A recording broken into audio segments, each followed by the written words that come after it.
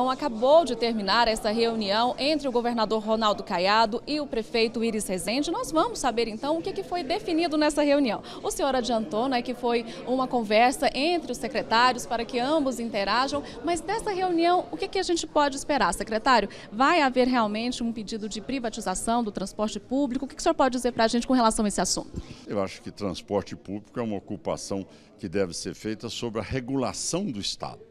Não é?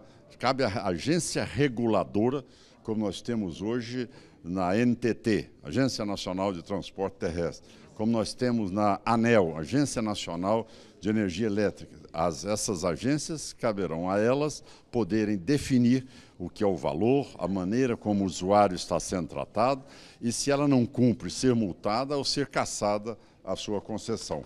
É dessa maneira que nós temos que evoluir. O cidadão que nos assiste agora, ele está na fila sem poder ser atendido.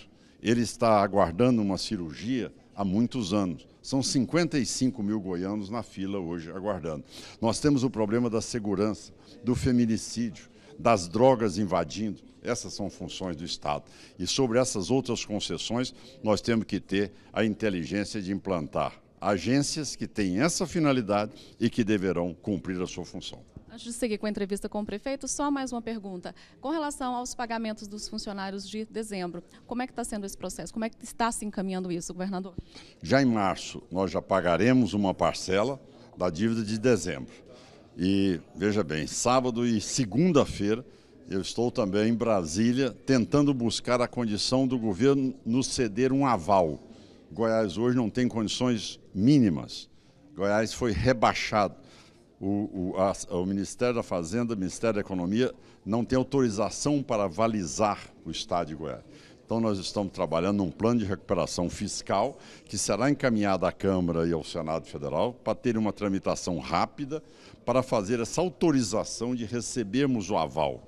No momento em que o aval for concedido, nós lutaremos por um empréstimo para quitar definitivamente esta folha de pagamento, que não é responsabilidade do nosso governo. Nós assumimos, sim, o Estado de Goiás assumiu e nós vamos pagá-la, mas ela vem em decorrência do mal feito e do não pagamento pelo governo anterior.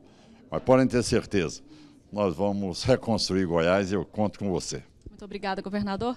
Prefeito, muito boa tarde para o senhor. Seguindo aí nessa linha do transporte, o senhor acredita que realmente a privatização é o caminho para a gente oferecer, né, para, para os órgãos públicos oferecerem um transporte de mais qualidade? Bem, nós estamos aí com alguns temas para tratar com o governo do Estado. Dentre eles, o transporte da região metropolitana, levando em conta, inclusive, que o Estado é detentor aqui da da linha Metrobus. Bem, o governador, e eu senti, entende, e eu também entendo, que o poder público não pode ficar preocupado com questões tão isoladas, que é a questão, vamos dizer, de manter uma linha de ônibus.